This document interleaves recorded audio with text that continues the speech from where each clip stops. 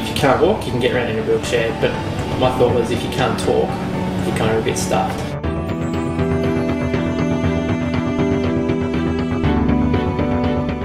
Work experience back in year 10.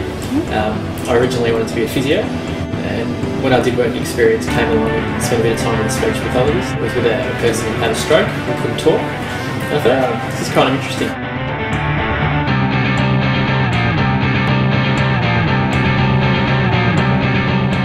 Profession that's enabled me to um, work overseas, travel around the world.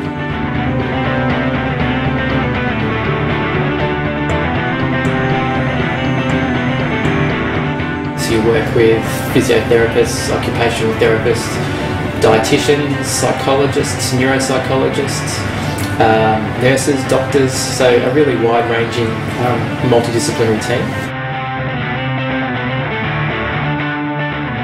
It is often a career where you can progress reasonably quickly. You know, it's good to be able to influence um, outcomes and make an, make an impact on, what happens um, to people in healthcare on a daily basis.